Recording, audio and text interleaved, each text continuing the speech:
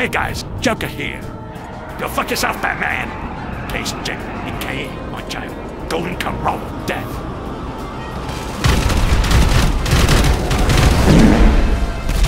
Well, fuck. That didn't go according to plan. That Jet Griefer was a real.